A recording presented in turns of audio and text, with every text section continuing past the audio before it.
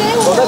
拍照记得传给我。新北市长侯友谊连任成功，高票横甩对手林佳龙后的第一个工作日，到新北细致视察行程，人气很旺。呃，跟市长跟各位乡亲报告，来到这里得解决两个问题。侯友谊说，细致最关键，近几年人口大幅成长，已经超过二十万人，塞车问题日益严重。还有前阵子大雨积淹水，现阶段已经请工程单位着手进行道路拓宽工程。细致的交通网塞。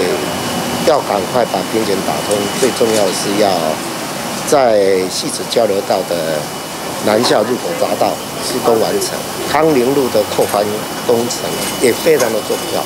那我们第一期已经做完，第二期也做完了，刚做完。那第二期把原有的道路扩宽成两倍，又加强人本环境。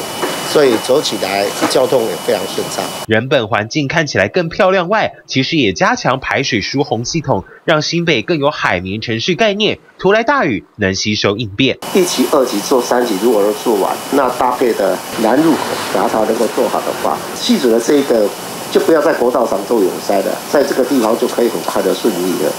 上国道路是天天在走，工程若完工，舒缓塞车，民众会很有感。TVS 新闻王金伦新北市报道，请支持 TVBS 国际 Plus 全新频道，让您扩大视野，掌握趋势，接轨全世界。恳请订阅，开启小铃铛。